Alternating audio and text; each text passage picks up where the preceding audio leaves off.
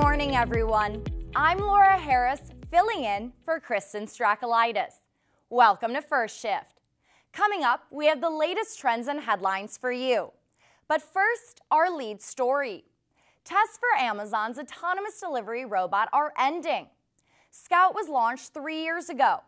The machine was being tested in neighborhoods, and Amazon had been holding meet and greets in those communities just a few months ago. Now, Amazon is winding down experimental projects because of slowing sales growth. 400 people working on the project will be offered new jobs. Another EV arriving in the U.S. soon is BMW's i7 EV. And the company says pre orders prove that demand for luxury EVs is white hot.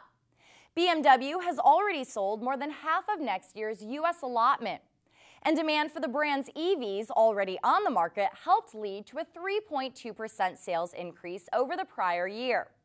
The i7 costs nearly $120,000.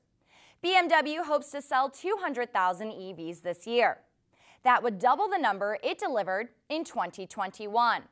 The company plans to push production limits in factories to capacity to meet demand.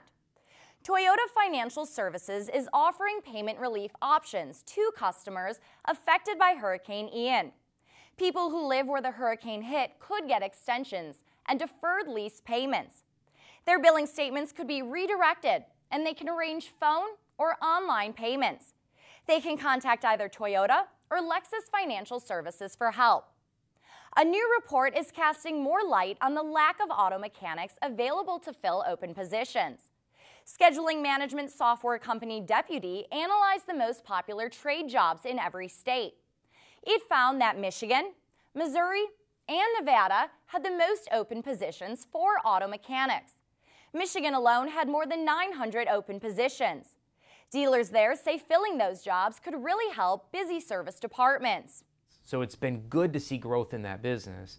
It's just that if we had more technicians, we could service even more customers. The average wage for the opening is $20.90, or about $43,000 salary. GMC's heavy duty line of Sierra pickups is going a little more luxe. It's adding Denali Ultimate and AT4X versions next year. The Denali Ultimate will have full grain leather massaging seats, a 12 speaker Bose premium system, and a 15 inch multicolor head up display. The AT4X is a higher version of the AT4 trim. It's designed to attract a younger, wealthier buyer. The trucks will have a new front end, a more powerful diesel engine, a standard 10-speed transmission, and other changes that largely mirror the updated Chevy Silverado HD.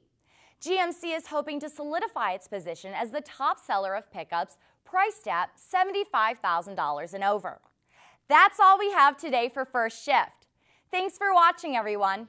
Be sure to follow us online at autonews.com for updates from our reporters all day, every day.